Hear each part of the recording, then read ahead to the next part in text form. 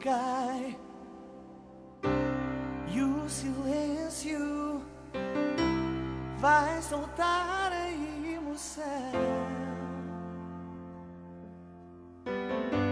Estamos sós mais uma vez.